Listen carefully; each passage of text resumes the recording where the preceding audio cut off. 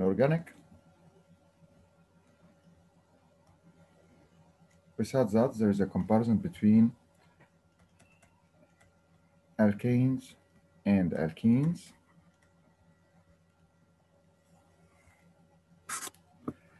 For the reaction of each one, you will find that alkanes have three main reactions and alkenes have also three main reactions. For alkanes, we said that. Cracking, combustion, and substitution. While in case of alkenes, combustion also, polymerization, and addition. And the mechanism of reaction for each one, you will find that for alkanes, the mechanism free radical substitution and the type of fission homolytic fission. In case of alkenes, electrophilic addition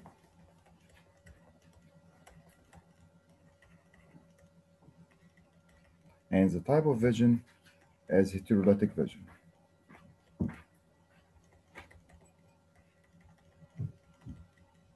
This is number one. For the reaction for each one,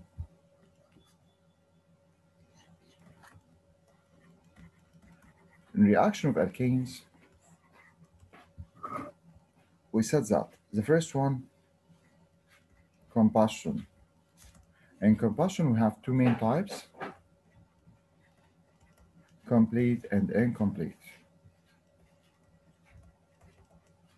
For complete combustion, it will produce carbon dioxide and water, like methane plus oxygen. It will form carbon dioxide and water. While incomplete combustion, it would produce carbon monoxide and water. There's an excess amount and there's limited amount. And we said that in case of incomplete combustion may be produced carbon monoxide or black carbon. And carbon monoxide is a toxic gas that reacts with nitric oxide in catalytic converter to produce carbon dioxide and nitrogen. This is number one for combustion. Number two, for cracking. In cracking, we have alkanes will change into alkane and alkene or alkene plus hydrogen. What is meant by cracking? To change long chain hydrocarbons into short chain hydrocarbons to be more useful. Long chain hydrocarbons into shorter chain hydrocarbons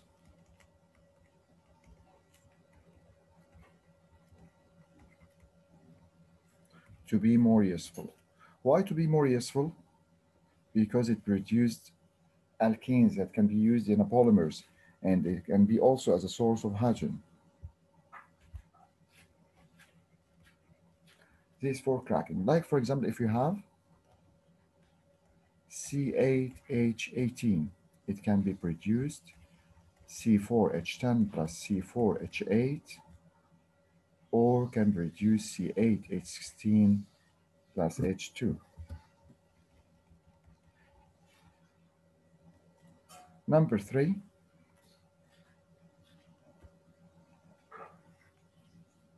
substitution reaction. In case of alkanes, you will find that all bonds are single bond that are sigma bond, is strong, head-to-head, linear, difficult to be broken, require more energy to break down the bonds. So for this reason, all reactions are, are formed by substitution, not by addition. For substitution reaction like CH4 plus Cl2 in the presence of UV light, you will find that it will produce CH3Cl plus HCl. And for mechanism of the reaction,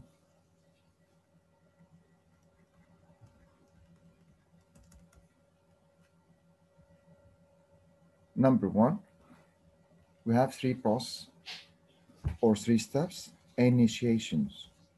For initiation, that we have chlorine molecule will change into two free radicals. This is number one. So for the first step, chlorine molecule change into two free radicals. Number two, propagations. We have two steps in propagations. The first step that this molecule will react with the free radical and then replace each other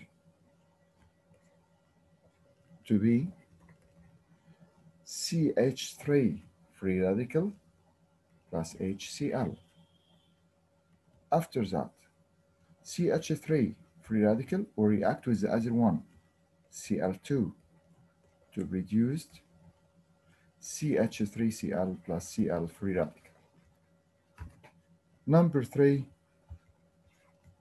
in case of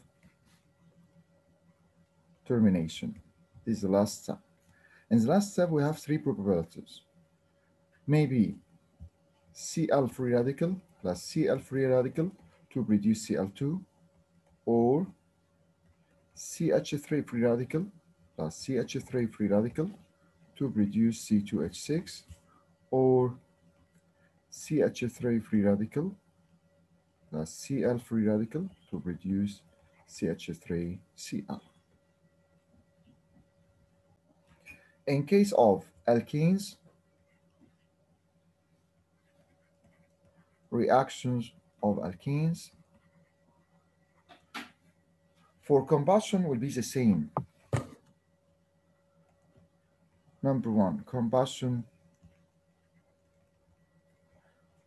same like alkanes.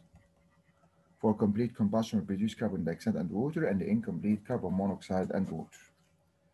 Number two, for addition reaction, we said that in case of alkenes, you will find that the reaction will be by addition due to it contains pi bond, easy to be broken, and then addition reaction takes place.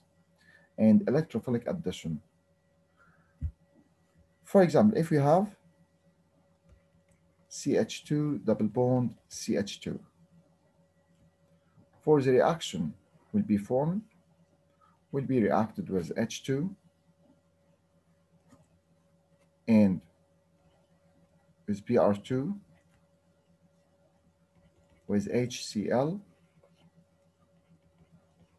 with H2O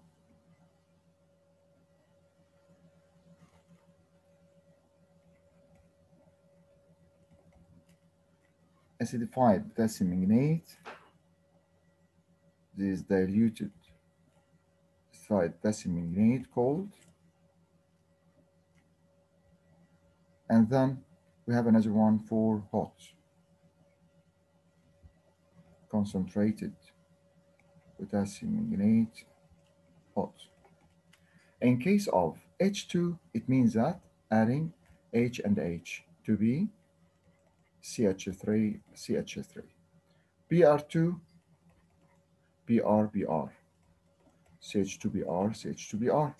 HCl, H and Cl. CH3, CH2Cl. In case of H2O, it means that H and OH. CH3, CH2, OH. In case of diluted cold manganate, it will be OH, OH, diol. So it will be CH2OH, CH2OH. And after that, in case of hot, you will find that we have three cases.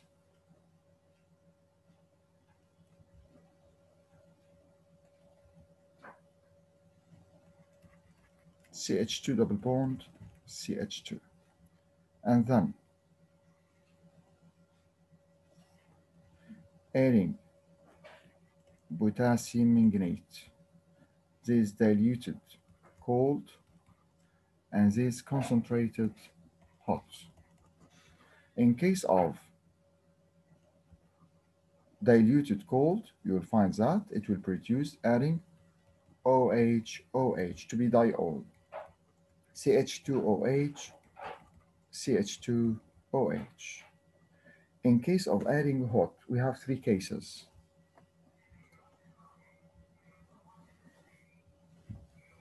If we have C, double bond C, and we have two H's, it will produce carbon dioxide. If we have C double bond C and we have only one H and one R, so it will produce aldehyde, then carboxylic acid. If we have C double bond C and we have two R, there is no H's, it will produce a ketone.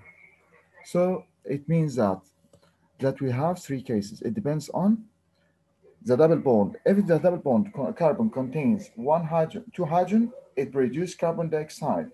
If it contains one R and one H, it will produce aldehyde, then oxidized to be carboxylic acids, like primary alcohols. And in case of two R and there is no H's, it will produce ketone. So this is like, like primary alcohol. And the other one is like secondary alcohol. This is in potassium manganate. So for that, we can make a map for alkenes. Alkenes.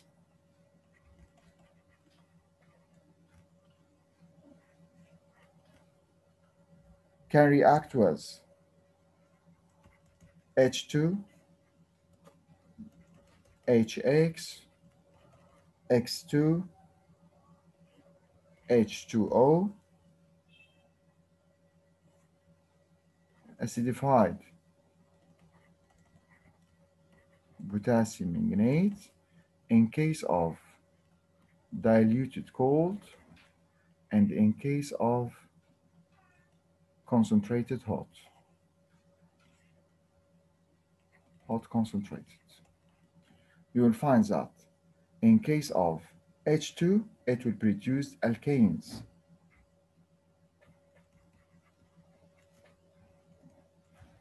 In case of HX, halogen alkane.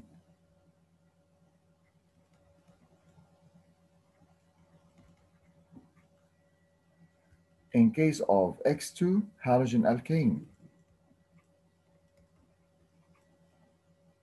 But in this case, we have only Rx. But in this case, we have XX. After that, adding water, it will produce alcohol, ROH. In case of acidified diluted cold, it will produce diol, ROH with ROH. Concentrated, if we have C double bond C, that contains two H's, so it means that it will produce CO2. If it contains only one H, aldehyde, then carboxylic acid. If it contains 2R, this means that it will form ketone. This is like primary alcohol and the other one like secondary alcohol. Mechanism of the reaction in case of alkenes.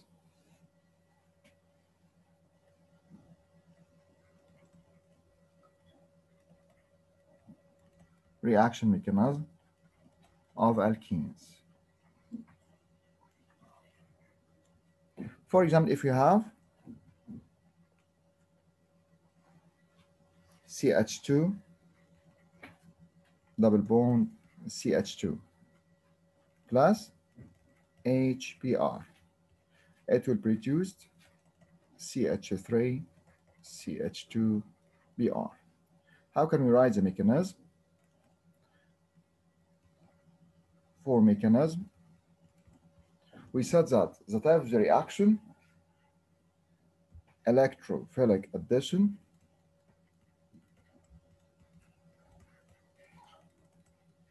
and heterolytic fission.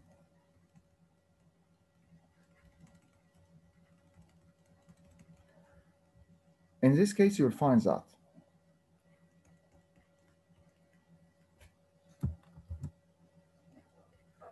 if we have ethene and then reacting with hydrogen bromide,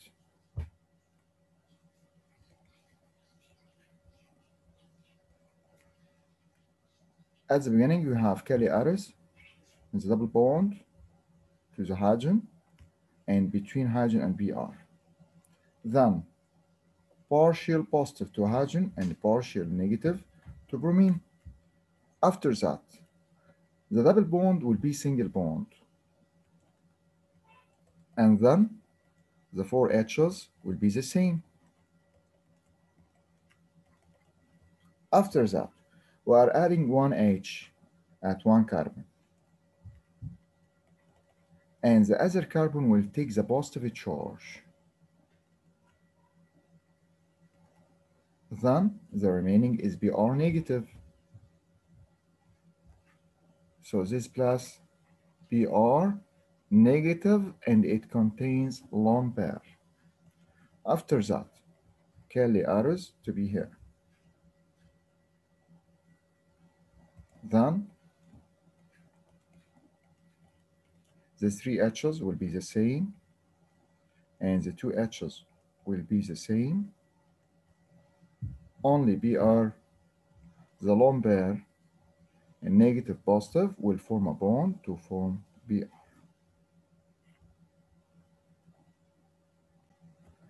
In case of, if you are adding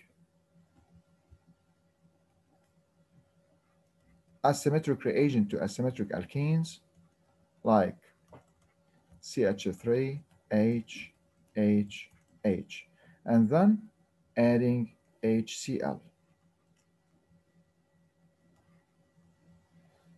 You will find that is partial positive, partial negative, and then curly arrow and the other curly arrow. And then in this case, you will find that H must to be in the side that contains more hydrogen. So H is a measure. Explain why. The carbon contains more hydrogen. And the other one will take the halogen. Plus Cl negative with a lone pair. After that, curly arrows.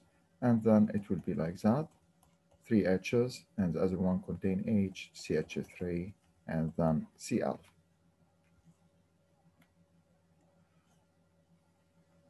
For polymerization of alkenes, what is meant by polymerization? You will find that polymerization is the opposite of cracking. It's small molecules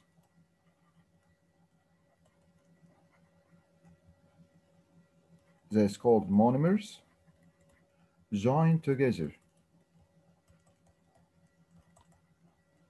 to form polymer.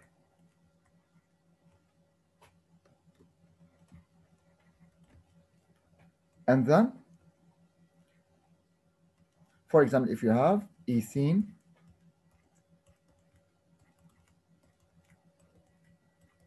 it will be polyethene that only removes the double bond and then bond bond bracket N. If we need propene, it will be CH3. This to be propene. If we need butene, it will be 2CH3. As two carbon atoms, this is called butene and the other one is, is called polybutene.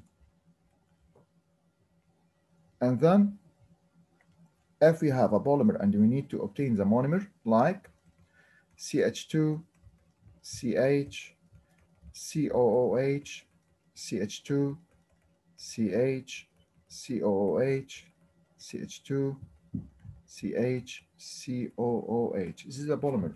And we need to obtain a monomer. How to obtain the monomer? We will take two carbons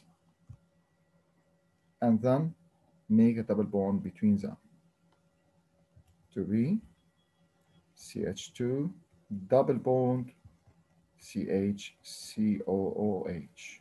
So this is a monomer and the other one is a polymer. And we said before for polymerization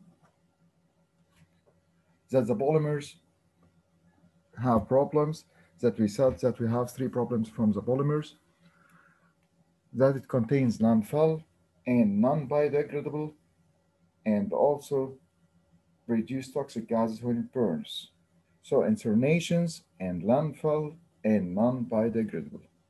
And it can be used in making plastics that are cheap in price and it can be recycling and they have low density and they can be used as insulators.